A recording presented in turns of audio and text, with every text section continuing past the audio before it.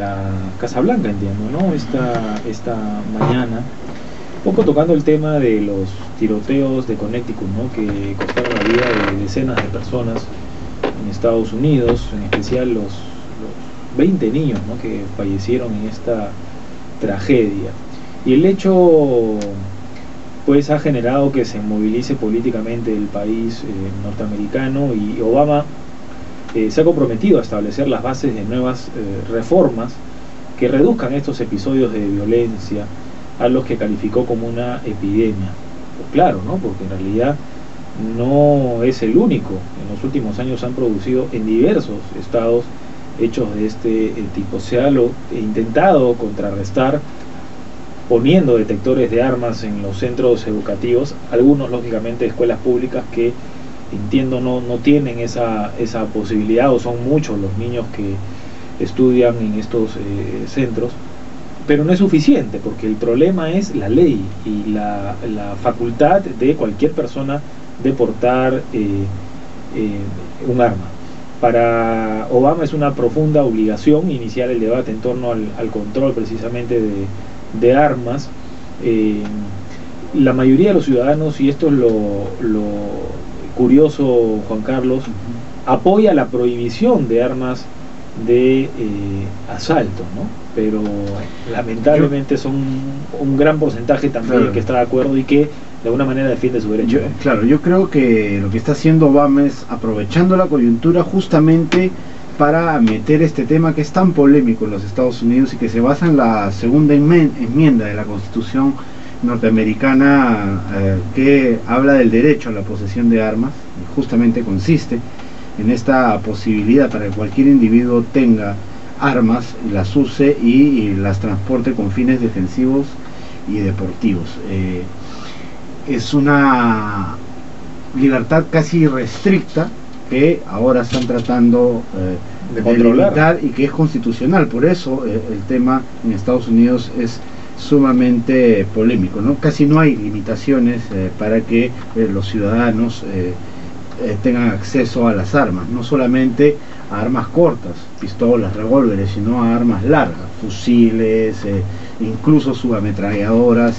Es, sumamente polémico y por eso vemos la facilidad con la que se pueden eh, conseguir y ser mal usada ¿no? Mal usada sí.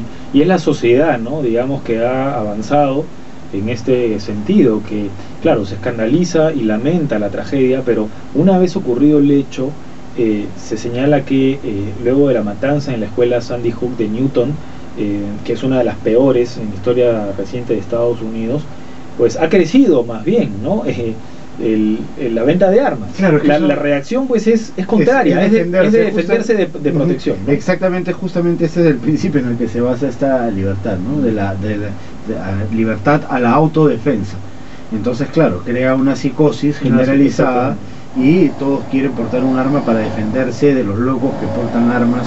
Este, también es es una espiral que no tiene soluciones. Right, right to bear arms es el principio pues. del derecho a portar armas, el, que es casi restricto en los Estados Unidos. Bueno, y ese, ese principio ha llevado al congresista, el republicano Dennis Baxley, a eh, eh, presentar una iniciativa, o en todo caso abogar para que los maestros puedan llevar armas.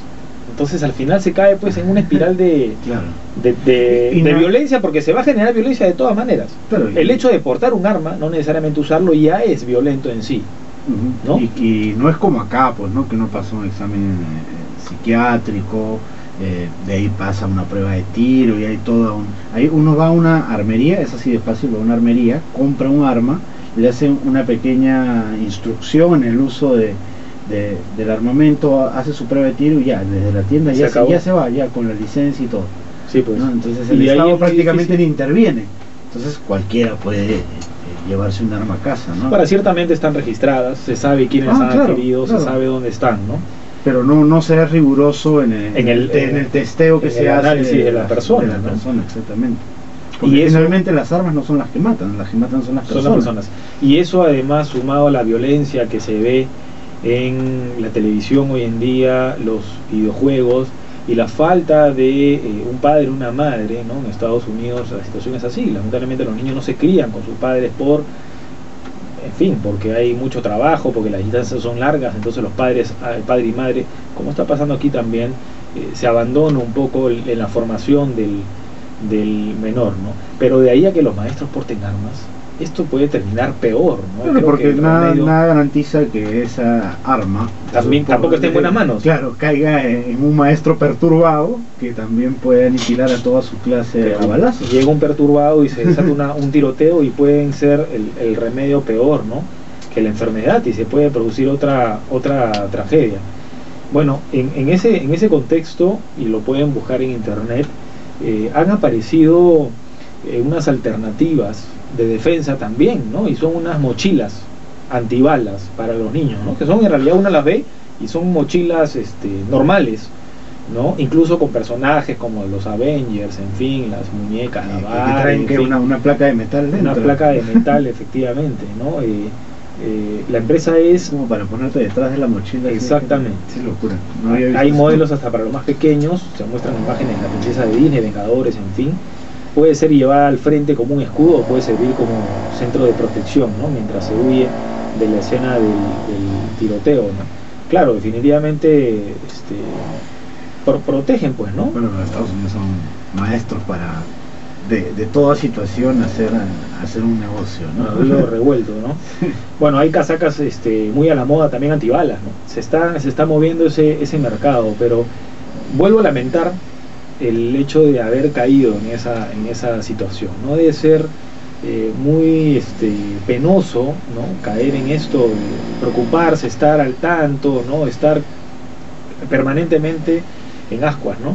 en lo que puede en lo que puede pasar y ojalá que no lleguemos aquí a ese punto no porque acá se han hecho una serie de programas para devolución de armas que han eh, confirmado que hay muchas armas en manos de personas que no tienen este, autorización, por ende no han seguido lo que dices tú, un examen riguroso de salud mental. el, problema, el problema acá también, Nico, va por el, por el tema de la corrupción, ¿no? porque, o sea, hay una normativa para obtener una licencia.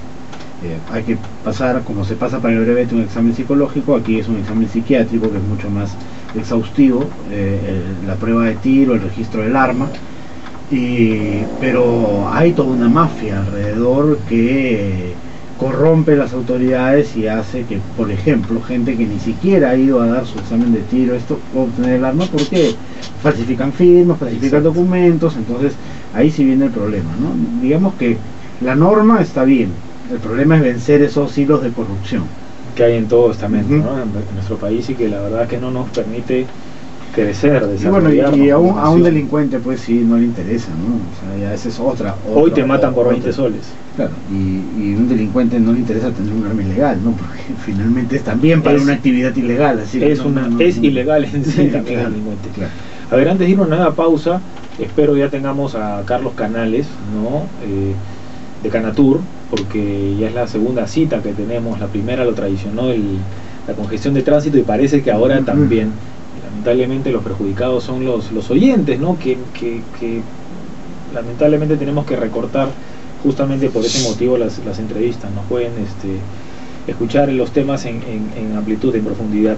Eh, les, comentaba también que eh, el colegiado C de la Sala Penal Nacional ha iniciado el juicio oral contra el cabecilla terrorista eh, alias Artemio, ¿no? Florindo Eleuterio Flores Ala, ¿ah? en la base naval del Callao la Fiscalía ha dicho que hay suficientes pruebas eh, como para la cadena perpetua. La cadena perpetua, que es lo que pidió el Ministerio Público. A ver, los delitos son terrorismo, tráfico ilícito de drogas, lavado de activos. ¿ah? Una reparación de 10 mil millones de soles. ¿De qué?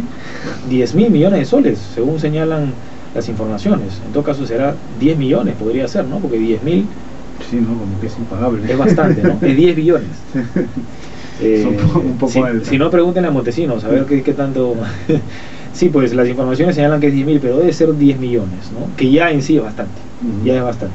Eh, bueno, se va a citar, y esto también es lo curioso, como testigos a los ex parlamentarias Nancy Obregón y Elsa Malpartida, porque estaban en las agendas, ¿no? Porque ellas recordarán, ¿no? Según sus testimonios, habían reunido con el cabecilla, habían recibido su apoyo en campaña electoral. También va a estar Feliciano, ¿ah? el otro terrorista eh, que señala vivo cómo Artemio le entregaba dinero a Ismael Guzmán. Bueno, así están las cosas. Sí, este y hay, hay rumores, también eh, no confirmados, pero es bueno transmitirlos, que este, estaría dispuesto a, hablar ¿no? y, a, y de alguna manera dar, dar, las pruebas necesarias para esa ligazón que los terroristas hasta ahora niegan entre su actividad y el narcotráfico. Ojalá que así sea. ¿no? El abogado Mauro Paico Paucar, abogado del terrorista, ha dicho que es un juicio, o el juicio es un hecho político, dice. ¿no? Por consiguiente, la acusación será política. Bueno, vamos a ver. Hay, hechos, hay hechos criminales fácticos ¿no? que no se pueden negar, que están más allá y total absolutamente fuera de la política. Además, ya antes incluso de, eh, de, ser capturado, obviamente tenía una serie de denuncias justamente por la muerte de muchas muchos efectivos, ¿no? En la zona del... Vamos a ver, de repente el tratando de conseguir alguna reducción de pena y que no se aplique la cadena perpetua, sino alguna sanción menor, va a dar algunas luces sobre y pruebas sobre todo lo que necesita la justicia para este para este contubernio entre el narcotráfico y, el terrorismo. ¿no? Vamos a hacer una pausa y regresamos con, ahora sí, para hablar de turismo con Carlos Canales. Regresamos con más en opinión.